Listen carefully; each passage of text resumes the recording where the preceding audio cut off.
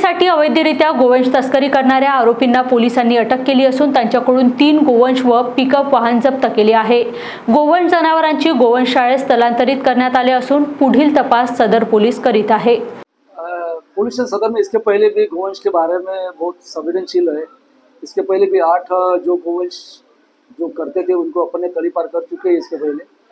तो दिनांक उन्नीस छः चौबीस को हमारे रिव्यू पथक पी एस घोगरे और उनकी टीम पेट्रोलिंग कर रहे थे। एक वाहन बहुत ज़ोर से जा रहा था तो उसका पीछा किया।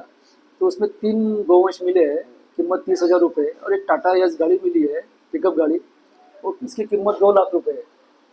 ये सब जब्त कर लिए और जो आरोपी का नाम है वो राकेश यादव है राना गोरेवाड़ा का है, उसको अटक कर ली है, और आगे भी प्रतिबंधक कार्रवाई उसके ऊपर की जाएगी।